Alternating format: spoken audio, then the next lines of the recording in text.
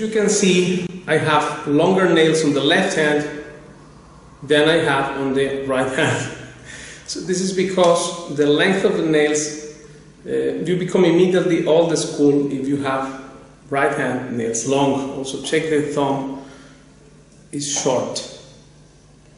Thumb, short nail. And also the others, because we need to have this point to hit the string and have combination of flesh and nail.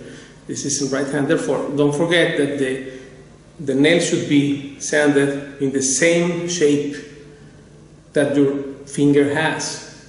So, for instance, this is rounded finger, then rounded shape, not pointed like this triangle shape, and then the, the shape of the finger is round. That, that's wrong. So this is what Paco said at least. Passing you the tip on. And then the thing is that here, if you observe, uh, we have more flesh actually than nail. If the nails are too long, then it, come, it will come very skinny sound, which is not uh, Paco de Lucia's way to, to, to, to hit the string with all the harmonics there, etc. So therefore, in left hand also, careful because if this generally people tend to to sand it off too much and then if these nails are too short then you cannot do properly ligado and all that stuff hammer on pull off nuances and which are basis of our interpretation. In flamenco very important resource is the ligado and then therefore very short nail is not advisable. So here, in fact, if you see, I have longer here than here. Longer left than right. If we have this too long, then immediately we become old school sabicas. Still, if you watch any video of sabicas, you will see that the thumb, for instance, look at this, this to have more and more control.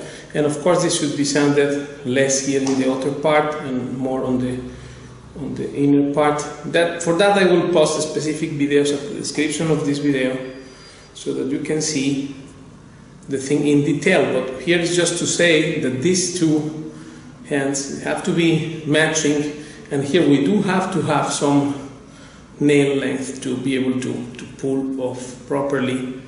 While in this hand, if we have too long, then we will not be able to, to hit the string from this point, which I mark it there, that will be the, the right place of attack. And if this is too long, then posture will be modified because if, if it is long, then I cannot have closed this and I have to have fallen posture, etc. For that, we need to, to watch the video about the uh, 18 things to remember to practice the scale thing about posture because posture depends also, also on the on the length of the nail. Now, if we play only uh, nail sound, then this is a sound. But if we do other thing is this, this here. This is with flesh and nail, and this is only nail that, that thinner sound. So this here should not be surpassing. Also, when you have the, the angle to play like that, then you see flesh comes first, then the nail. Very important thing. And left hand, don't don't leave this too short. That's it. That's advice. Okay, thank you, and I see you next time. Muy bien, Pablo. Paco, ¿qué es para usted la música popular y qué es la música elitista? Yo creo que la música elitista es el refinamiento de la música popular. Por ejemplo, el flamenco. El flamenco originalmente es una música popular, la música del pueblo de Andalucía. Pero creo que ya no le pertenece más al pueblo, porque de pronto habemos gente que nos hemos pasado toda una vida encerrados puliendo esa expresión popular. Entonces ha llegado a un nivel en el, que el pueblo ya no, no, tiene acceso, sobre todo a los matices que vamos consiguiendo la gente como yo que nos muchas horas eh, elaborando esa música. Me ayudó porque descubrí ahí la improvisación La improvisación es algo que yo pienso que cada músico debería, cada músico del estilo que sea, del clásico, del flamenco, de cualquier otra música debería, debería aprender porque la improvisación te da mucha libertad y a la vez te da mucho conocimiento de, de dónde estás tocando, de cómo estás tocando, de qué armonías están en cada momento. ¿no?